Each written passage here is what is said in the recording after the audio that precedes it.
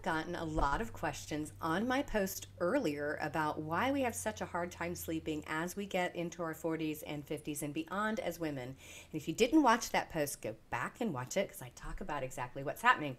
So, the follow up question, which always comes, is why do women have a harder time falling asleep compared to men? Well, in addition to the hormone changes that we have in perimenopause, we also have symptoms that show up that can affect our sleep, and these are called vasomotor symptoms. These are things like hot flashes, night sweats, mood changes, which all make it hard to go to sleep and stay asleep. So, men also go through hormonal changes, but they have sort of a slow rolling downhill Whereas in our 40s, we have progesterone declining first, and then as we enter our 50s and we go through menopause itself, that's when estrogen takes a gigantic cliff dive. And so we go through a lot of symptoms in those, you know, most of the time about a decade before we finally go through menopause.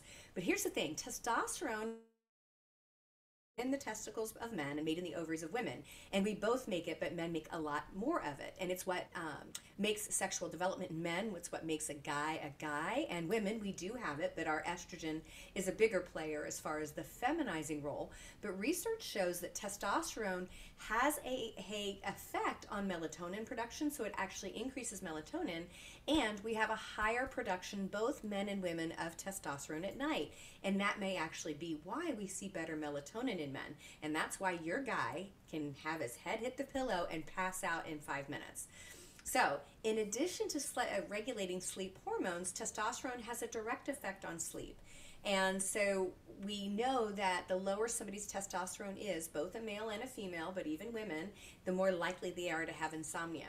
So it's important to note that both men and women experience testosterone levels that decline over time as we age. It's just men start with exponentially higher levels and their decline is a slower gradual roll, whereas we don't have that much to begin with and then we go through menopause. So testosterone plays a role. So here's a little secret, guys. If you want to have a more passionate wife, it's better to have that personal relationship or a little bit of that cuddling and the other things that you desire early in the morning because our testosterone levels are still maintained early in the morning with women, whereas we are depleted by the end of the evening when you get to the late at night.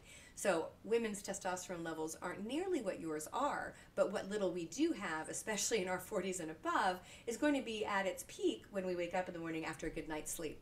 So, hope you found that helpful.